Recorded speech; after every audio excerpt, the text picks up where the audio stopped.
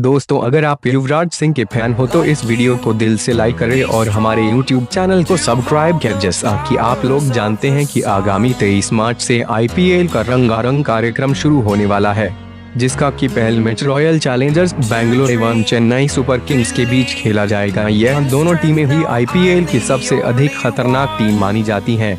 हालाँकि हम सब जानते हैं कि 2018 में युवराज सिंह पंजाब की तरफ़ से खेल रहे थे, लेकिन इस बार युवराज सिंह मुंबई इंडियंस की तरफ़ से खेलते हुए नज़र आएँगे। आपको बता दें कि 2018 में पंजाब की तरफ़ से खेलते हुए युवराज सिंह का प्रदर्शन बहुत ही खराब था, जिसकी वजह से इनकी बहुत ज़्यादा आलोचना की गई। उसके बाद से तो मानो की युवराज सिंह ने इंडियन प्रीमियर लीग में छाप छोड़ने के लिए अपनी कमर ही कस ली। क्योंकि उसके बाद युवराज सिंह का घरेलू टूर्नामेंट में प्रदर्शन इतना ज़्यादा खतरनाक हो गया कि फिर से भारतीय टीम इनको मौका देने के लिए मैन बना रही है। साथ ही युवराज सिंह के सभी फैंस को यह जानकर खुशी होगी कि इस साल आईपीएल का तीसरा मुकाबला दिल्ली कैपिटल व मुंबई इंडियंस के बीच खेला जाएगा।